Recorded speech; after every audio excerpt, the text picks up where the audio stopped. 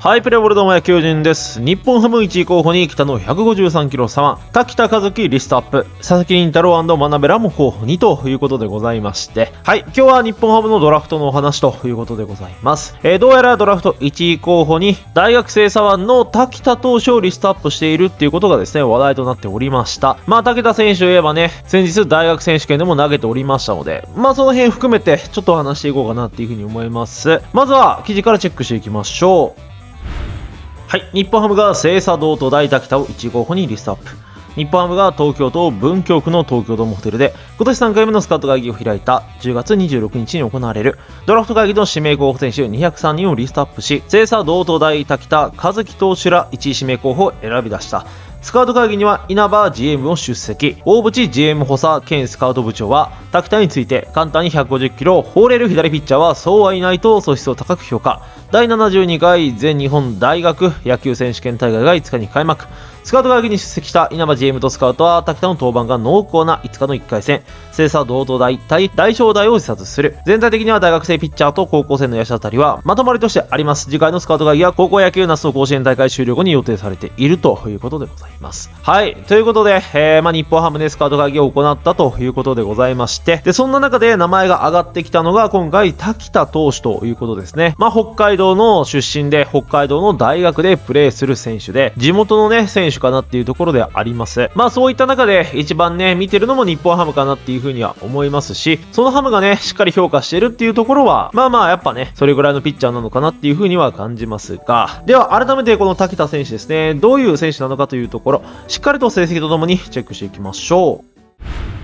はい、滝田和樹選手、清佐道と大、北の剛速球左腕、出身地は北海道、2001年12月28日まで21歳、183センチ、77キロ、ポジションピッチャーで、左投げ、左打ちのサウスポーです。マックス球速が153キロということで、まあ、左ピッチャーなんですけど、非常にね、速い球速台で投げる選手です。で、球種はスライダー、カーブ、スプリット、チェンジアップなどを持っております。スッツ高校では1年春からベンチ入り、3年地には最速138キロのエースとしてチームも支えましたが、3年間で甲子園出場などはなく、目立った活躍はできませんでした。そして現在の清佐道と大学進学は1年秋のリーグ戦で早くもデビューすると、下級生時はリリーフとして活躍。3年春から先発を務めるようになり、夏の単調リーグでは151キロを記録します。さらに3年秋、4年春にそれぞれ3勝をマークし、徐々にプロからも注目されていくと、先日の大学選手権では4.2回5失点ながら存在感を残す投球を披露していたということでございます。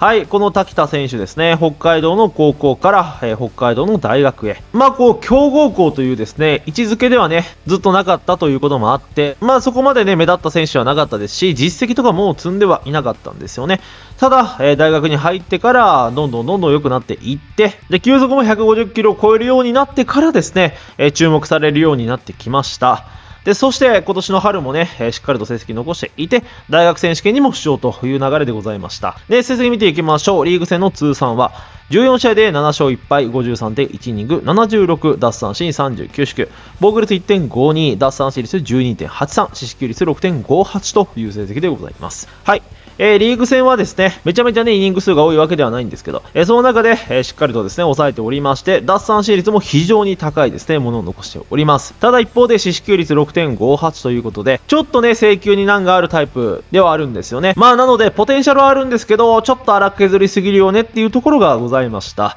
で、今年のね、春のリーグも4試合で3勝0敗19.1イニング、31奪三振、13四死球被安打8、防御率1.40、奪三振率14.43、四死球率6.05という成績です。まあ今年の春圧巻の成績で特に奪三振率に至っては14.43ということで、まあまあちょっとね、規格外の数字ということになっております。まあ地方リーグとはいえね、圧巻の成績ではないでしょうか。ただやっぱ四死球率は6.05というところで、この辺のね、高さっていうのは相変わらずというところでございましたが、まあただね、見事チームを、まあ大学選手権出場に導くね、活躍ができていたということでございました。で、そして大学選手権ね、えー、この間投げましたが、見ていくと1試合で0勝1敗4.2イニングで、3奪三振3四死球被安打6、防御率9.64、ウィップ1.93奪三振率5.79、四死球率5.79という成績でございます。はい。まあね、試合の流れ的には、強豪のね、大正大相手に4回までしっかりと0点で来ていたんですけど、5回にね、ちょっとまあ捕まってしまって点を取られたということでございました。ただまあまあ4回までは本当にね、いいピッチングができていたのかなっていうふうに思いますし、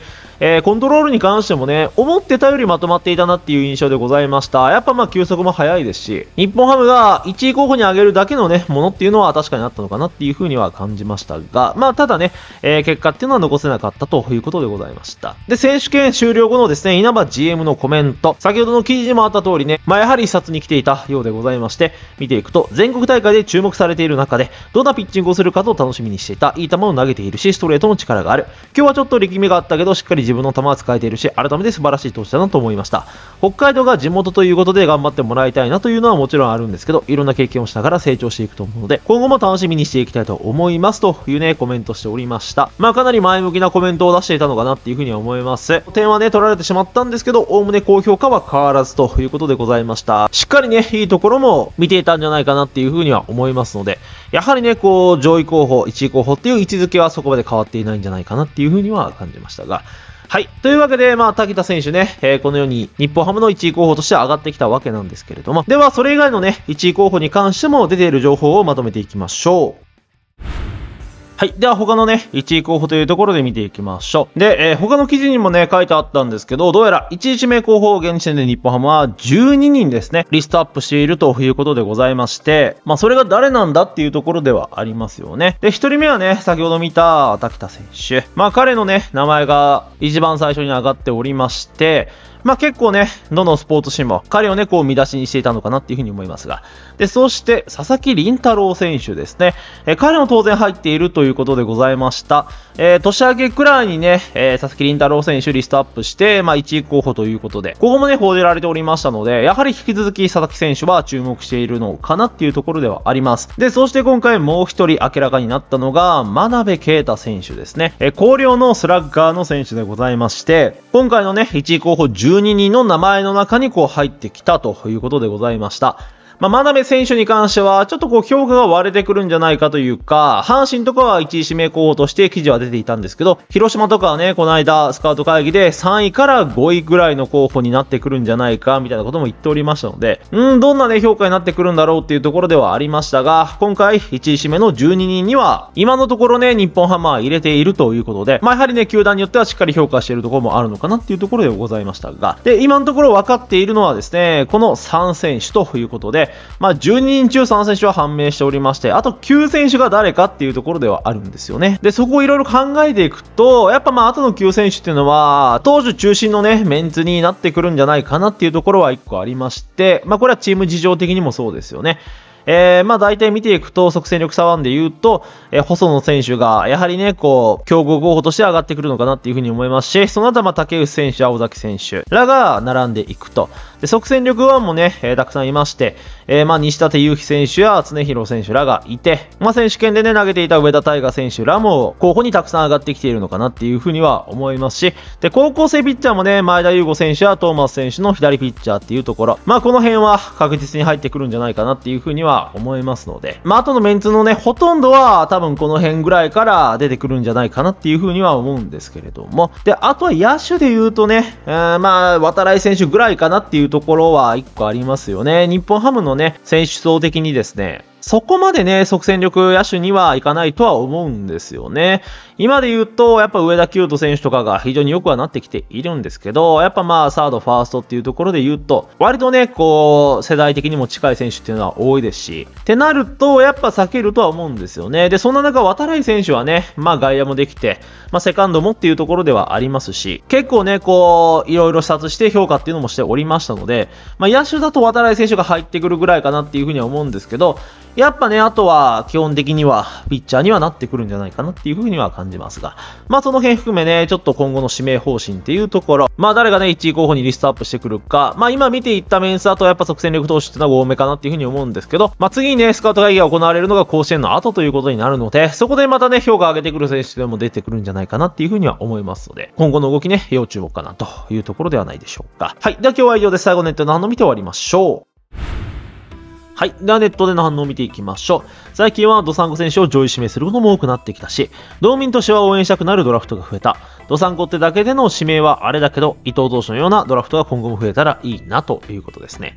はい、そうですね。えー、やはりですね、日本ハムの動きとしては、北海道出身の選手っていうところをなんかね、近年は指名することも増えてきたのかなっていう風には感じます。まあまあ、これはね、いろいろこう、エスコンフィールドに移るに至ってね、地元選手をっていう考えもあったんじゃないかなっていう風には思うんですけど、やっぱまあ一番印象的なのはね、伊藤博美選手ですよね。彼をこう1位指名して、しっかりと主力として、働いてくれているっていうところはございますので、まあその傾向っていうのは、ほんとね、成功しているのかなと。というかね、最近ほんと北海道出身の選手で、いい選手っていうのもほんと増えてきていたので、そこも相まってね、地元路線っていうところは、まあすごくね、えー、いい形になっているんじゃないかなっていうふうには思うんですけど、で、それで言うとね、今回上がってきた竹田選手も、えー、めちゃめちゃね、地元の選手ということになっておりますので、当然こう、伊藤選手のように狙っていきたい存在ではあるのかなっていうふうには思いますよね。もちろんね、それ以外の選手っていうのも、取る方針ではあるんでしょうけど、まあ何人か並んで、どっちがいいか迷ったら多分こう地元を取るっていうね、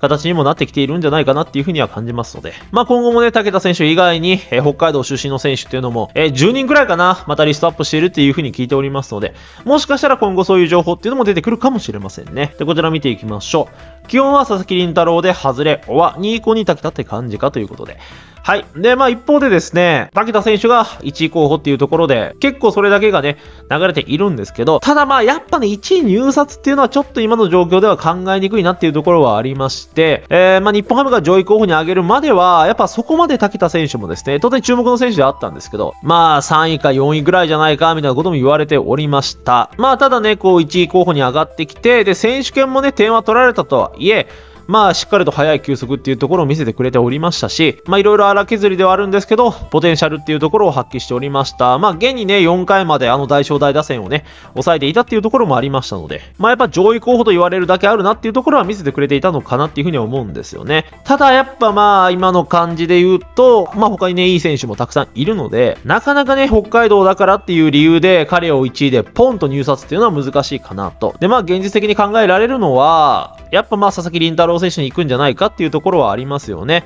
えファーストの選手ではあるんですけど、DH もありますし、で、清宮選手もサード挑戦っていうのもしておりますし、結構ね、年齢っていうのも離れておりますので、まあ、いけないことはないかなっていうところはありますよね。やっぱ能力の高い選手ですし、まあ、岩手出身っていうところもあって、まあ、結構ね、地元に近いっていうところもあるので、まあ、そういった関係で行く可能性もね、やっぱ高いんじゃないかなっていうふうには言われております。で、強豪になると予想されておりますので、外れたら、まあ、滝田選手とか、それからまあ2位でね、取れる感じであれば、そこで取ってっていうとこでもいいんじゃないかなっていうふうに思いますので、まあ1位候補とはしているんですけど、入札まではね、ちょっとまあ考えにくいっていうのが今の状況かなっていうふうには思います。まあもちろんね、秋次第では全然変わってくるんじゃないかなっていうふうには思うんですけど、まあまあその辺も含めてね、えー、竹田選手の評価どうなっていくのかというところ、一つね、見ておきたいポイントかなっていうふうには感じますが。では今日は以上です。よければチャンネル登録、コメント、高評価などいただければ嬉しいです。野球人でございました。せのゲーム、セット。